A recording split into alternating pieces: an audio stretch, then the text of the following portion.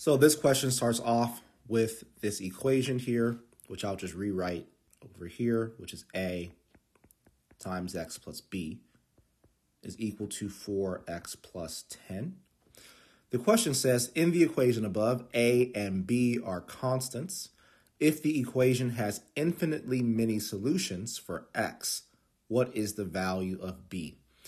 All right, so a couple of things. I am going to, first of all, simplify this equation just so that I have the same format on both sides. So I'm going to make this into ax plus ab equals 4x plus 10. Second of all, this idea of infinitely many solutions, right?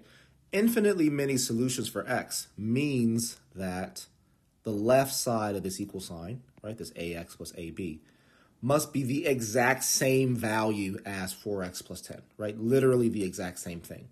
So what do I mean by that? That means that this ax must be equal to 4x. And this AB must be equal to 10, right? We need to have 4x plus 10 equals 4x plus 10 in order for this infinitely many solutions thing to work out, right? Infinitely many solutions means that it doesn't matter what x value you plug in, both sides of the equation will always equal each other, right? There are infinitely many solutions for x because both sides of the equal sign are the exact same thing. So now if ax equals 4x, that tells me that a has to equal 4.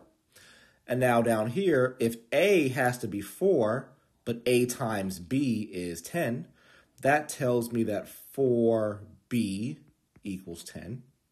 And I can divide both sides by 4, and I know that b has to equal 10 over 4.